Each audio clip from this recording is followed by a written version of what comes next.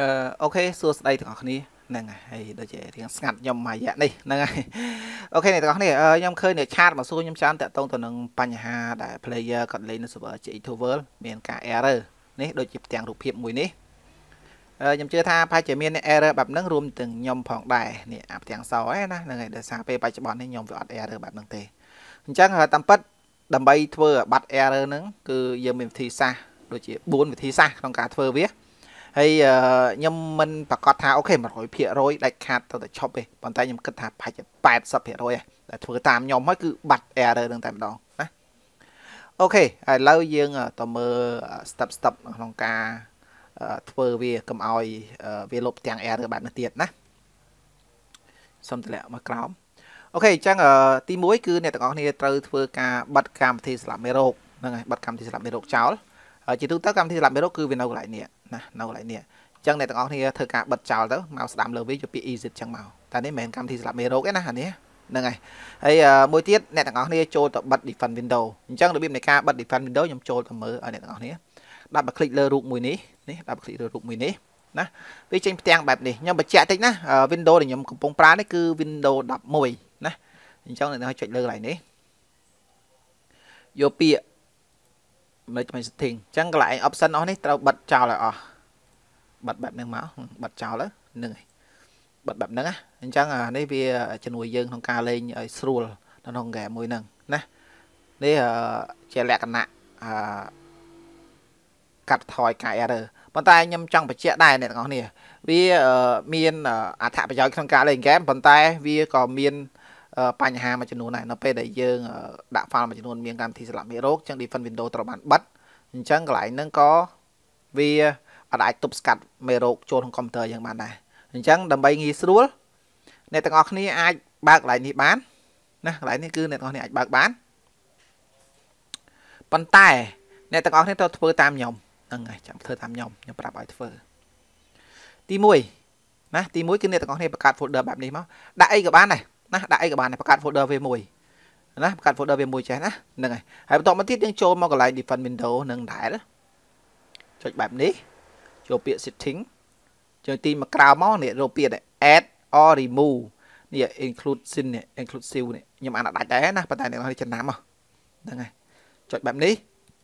យក yes មកអញ្ចឹងកន្លែងនេះអ្នកទាំងអស់ត្រូវធ្វើការ add អា folder នេះចូលមកក្នុងនេះណា យើង add ចូលមកក្នុងនឹងមានន័យថាឲ្យតែកម្មវិធីនៅក្នុងនេះ folder នេះមានន័យថាកម្មវិធីសម្រាប់មេរោគឬកម្មវិធី defend window វាអត់ចាប់ទេអញ្ចឹងអ្នកទាំងអស់គ្នាធ្វើបែបហ្នឹងថ្ងៃក្រោយគឺយើងស្រួលមក file ណាដែលយើងចង់ឲ្យវាកុំឲ្យ protect window កុំឲ្យ window defend protect យើងចាប់ដាក់ក្នុងនេះទាំងអស់មកវាអត់ protect ទេអញ្ចឹងយើង add ទៅមកកន្លែងនេះមាន3 4ជំរឿអឺទី1 file ទី2គឺ folder អញ្ចឹងកន្លែងនេះ folder យើងយក folder មកស្រួលបែបនេះលើ desktop មែនទេនេះលើ desktop អញ្ចឹងនេះ folder យើងចង់ទាញចូលអូខេបែបនេះឃើញទេអញ្ចឹងមានថាមក folder ហ្នឹងគឺអាច copy ដាក់ចូលក៏បានដែរទោះបីជាអ្នកទាំងអស់គ្នាដាក់មេរោគចូលក៏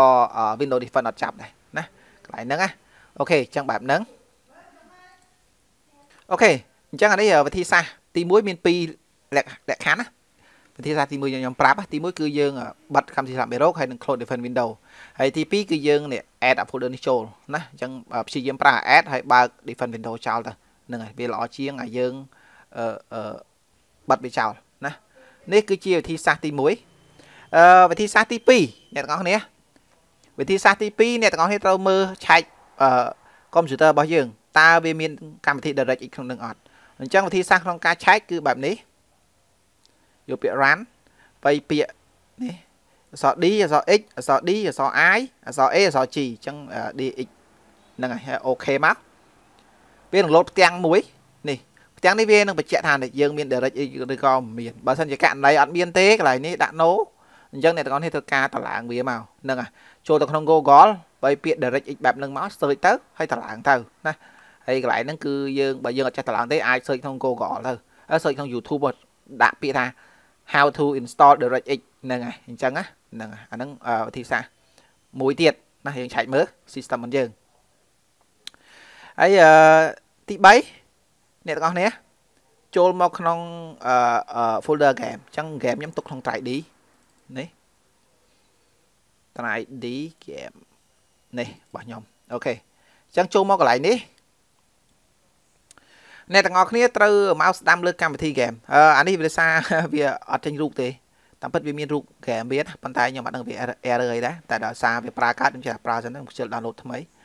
ណាអញ្ចឹងយើងយកមើលវាមកនេះនេះហ្គេមហ្នឹង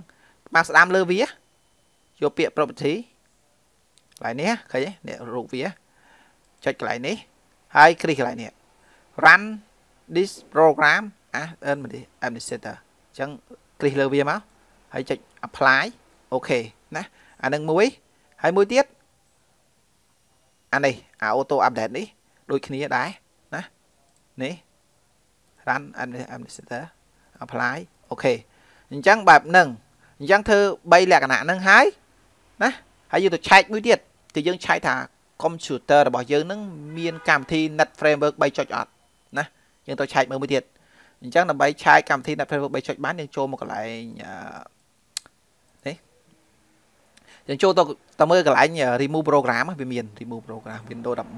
11ចូលមកកន្លែងនេះអឺលក្ខណៈនៃការចូលខុសគ្នាខ្ញុំបញ្ជាក់តិចណា Windows 11ផ្សេង Windows 10ផ្សេងណា អញ្ចឹងព្យាយាមរៀវខ្លួនឯងខ្លះទៅព្រោះកន្លែងណាខ្ញុំប្រាប់បានខ្ញុំប្រាប់ហើយណា app នេះចុចយកនេះអឺអានេះរៀងសាំញ៉ាំតិចដោយសារខ្ញុំក៏រៀងប្លែកដែរអូខេបែបនេះអត់ឃើញទេអញ្ចឹងយើងមើលចែយើងពេលយើងចូលដល់កន្លែងហ្នឹងយើងមើលវាវាមាន Windows 11អត់នេះឃើញអើ Windows វាមាន Net Framework អត់បើវាមានដាក់ Net Framework 3.3.5ហ្មងអានេះវាអត់មានទេឃើញទេ អត់ទាន់មានកម្មវិធី Net Framework ទេឃើញទេនឹងអត់មានទេនេះបើសិនជាករណីវាអត់មានកម្មវិធី Net Framework ទេ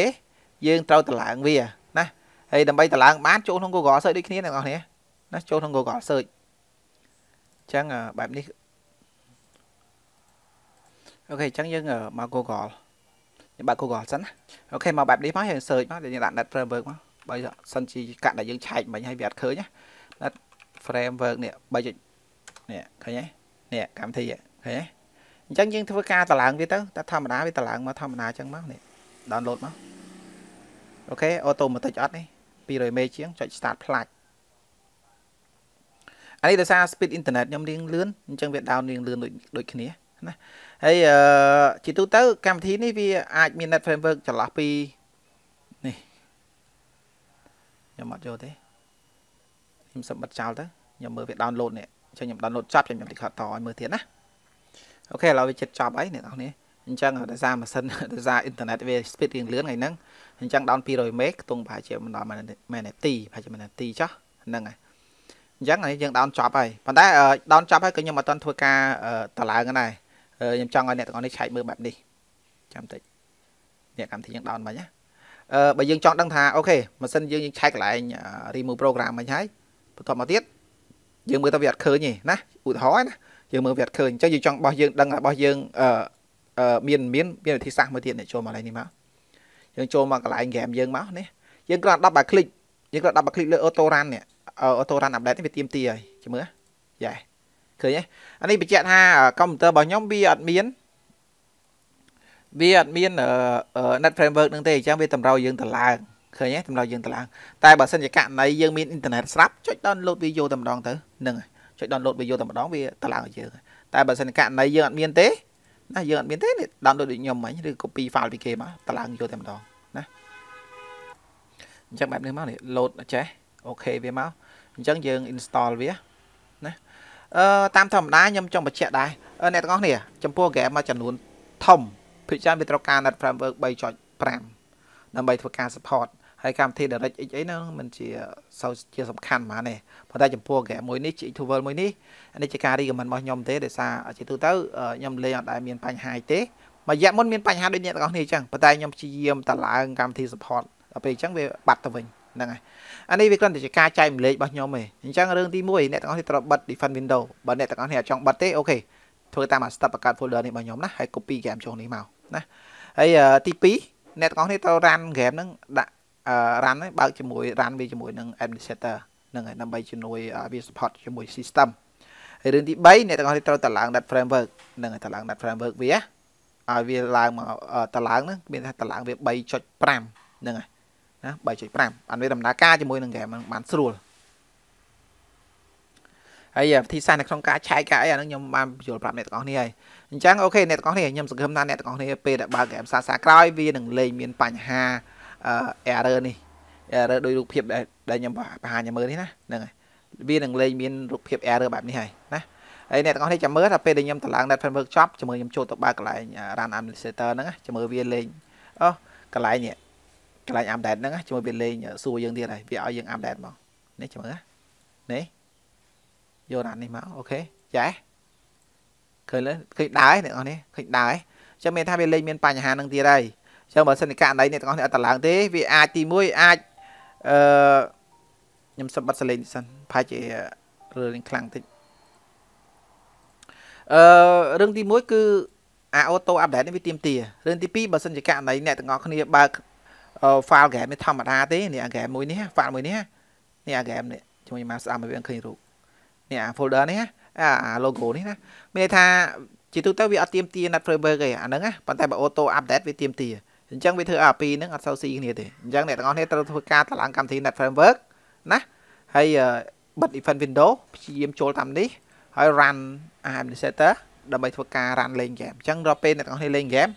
មកស្ដាំលើវាមកណារកយកពាក្យនេះមកណាហ្នឹងហើយដើម្បីជំនួយឲ្យវាកុំឲ្យ error OK អ្នកទាំងអស់គ្នាអញ្ចឹងនេះជាវីដេអូនៅខាងក្នុងការចែករំលែកទេអញ្ចឹងខ្ញុំសង្ឃឹមថាអ្នកទាំងអស់គ្នាធ្វើឲ្យទទួលបានជោគជ័យដូចជារូបខ្ញុំ ណាហើយបញ្ហាផ្សេងផ្សេងបើសិនជាករណី error ទៀត OK អាច chat ទៅសួរ GM ផ្ទាល់បានណាបញ្ជាក់តិចខ្ញុំមិនមែនទៅ GM ទេហើយខ្ញុំក៏មិនចេះដឹងគ្រប់រឿងដែរចេះទៅណាអ្វីដែលខ្ញុំចេះខ្ញុំនឹង share ប្រាប់ដល់អ្នកទាំងអស់គ្នា OK អរគុណអ្នកទាំងអស់គ្នាតែងតែ support និង control នៅ channel Razer Gaming ទាំងអស់គ្នាណា OK អរគុណបាយបាយ